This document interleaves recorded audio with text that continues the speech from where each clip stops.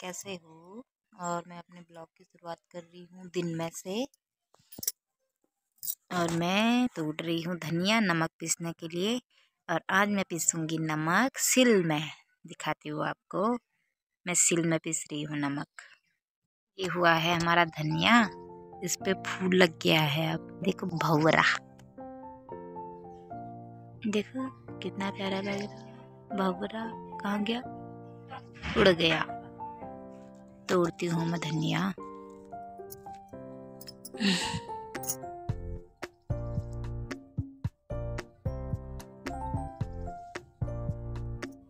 पत्ते पत्ते तोड़ूँगी ना, क्योंकि इस पे अब फूल आ गया तो बीज आएगा ना।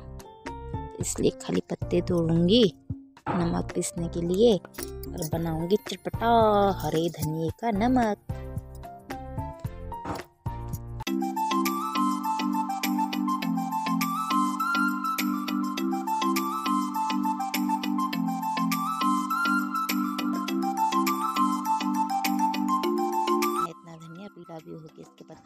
पीला हो। चलते हैं अब। डगड़ियों में सिल में लिया नून।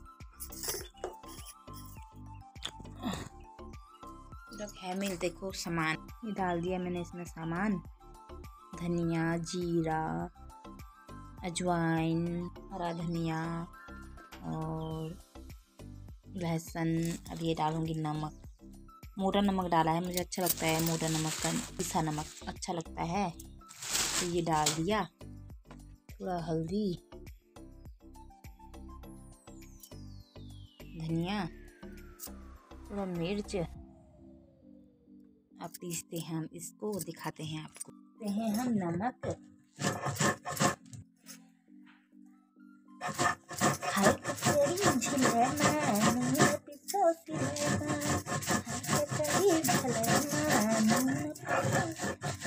महान तेरे चले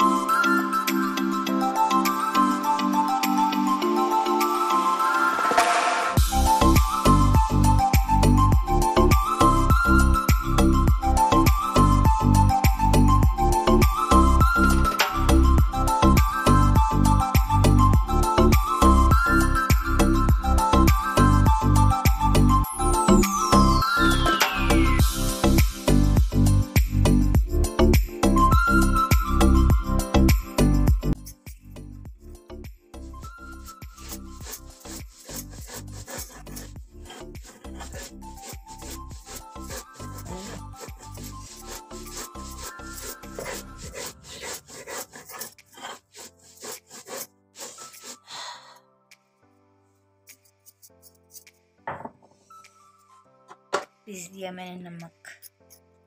दिखाऊँ आपको यह मिल नून। है का कड़ी झिले में नून, पिसा सिले में। आज मैंने सिल में पिसा नमक। और इसको रखती हूँ मैं आप डब्बे में। देखती हूँ क्या करती हूँ अब। थोड़े अचार तो अम्मा ने बना दिया था मिर्च का तो मैं दिखा नहीं पाई। और मैं उसमें लहसुन डाल रही हूँ तो दिखाती हूँ आपको हाँ। लहसुन छिले हैं बाबू भी आती स्कूल से आपको नमस्ते करो वहाँ। कैसे हो? तुम कैसे हो? अच्छा। मैं भी ठीक। मैं भी ठीक हूँ।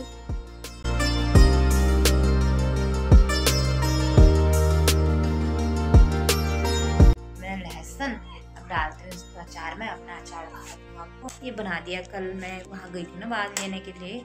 तो अम्मा ने तब तक बना दिया था अचार मिर्च का, ये देखिए। तो इसमें मैं अब थोड़ा लहसुन डाल देती हूँ और फिर बना लेती हूँ इसको। ऐसे तेल में तल के ना, ऐसे गरम तेल में मतलब गरम करके तेल को उसमें ऐसे लहसुन तल के अच्छा होता है। तो ऐसे ही अचार अच्छा बनता है। तेल गरम, इसमें मैं डाल देती हूँ लहसुन। डर लगती है मुझे। ये हो रहे लहसुन तल लिए अब थोड़ा सा थोड़ा ब्राउन होने देते हैं, इनको ज़्यादा नहीं थोड़ा सा मतलब। तो उसके बाद डाल दूँगी मैं इसमें।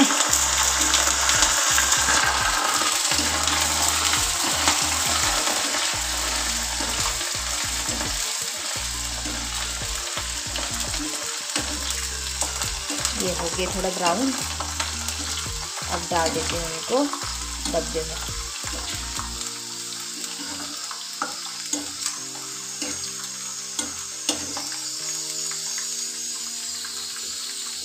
ये।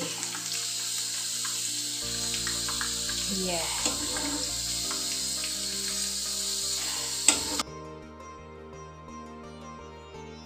लहसुन मिर्च के अचार में तो मिलाती इसको। मैं अंगूर खा रही हूँ और इस वीडियो को मैं यहीं समाप्त करती हूँ। मिलती हूँ आपसे अगली वीडियो में। बाय बाय दोस्तों।